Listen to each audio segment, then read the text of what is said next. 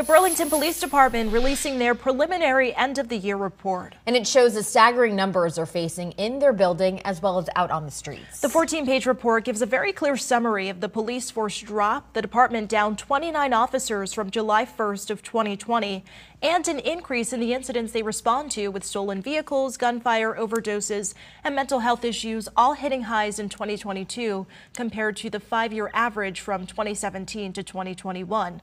We'll get a chance to talk to Interim Police Chief Jon Murad today about this latest report. Brattleboro Union High School